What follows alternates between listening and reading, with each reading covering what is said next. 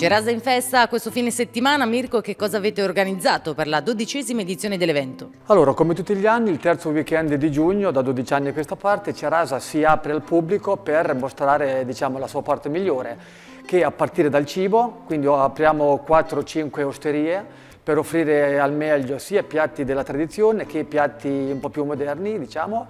E la, la cosa nuova, la cosa bella è che tutte le materie prime sono acquistate da, dai fornitori del territorio, quindi dal pasticcere, dal fornaio del paese al macellaio.